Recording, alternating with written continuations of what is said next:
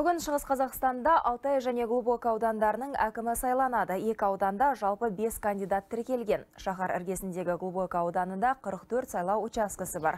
Олардың біреуі жабық режимде. Барлық учаскелер таңғы сағат 7.00-ден бастап айғара есік ашты. Тұрғындарға ең жақын сайлау учаскесін анықтауға көмектесетін мобильді қосымша да іске қосылды. Выборный процесс идет, то есть сами люди выбирают. Мінеке әкім сайлау өтіп жатыр. Жергілікті жұрт кандидаттардың сайлауалды бағдарламасымен толық танысты. Енді аймақтың мәселесін шешуге қауқарлы ауылдың болашағы үшін еңбек етуге лайық азаматты өздері сайлайды. Бұл жергілікті өзін өзі басқару жүйесін дамыту үшін өте маңызды қадам. Ауданда 13 ауылдық және 4 кенттік округ бар, жалпы 40 мыңға жуық сайлаушы тіркелген. Қордаланған мәселе де жетерлік. Мысалы, прогресс ауылындағы жұрт өлкенің коммуналдық проблемасы толық шешілсе деген ниетте.